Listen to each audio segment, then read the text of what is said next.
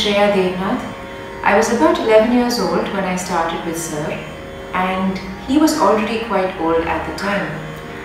And he actually hesitated to take me in.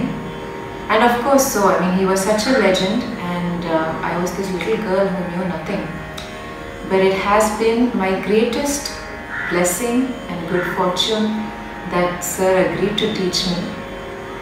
When I started off, it was with uh, a quarter-sized file about this big, um, and sir taught me everything from how to sit, how to hold the violin, how to hold the bow. Uh, he even stuck little bits of paper on the fingerboard with sellotape uh, to show me the positions, and he would say ingeda sa, ingeda pa, ingeda re, you know. And uh, the first few lessons was, uh, the focus was entirely on one thing, sit straight. He even wrote in my notebook and said, this is your homework, go show your mother. Lesson one, sit straight.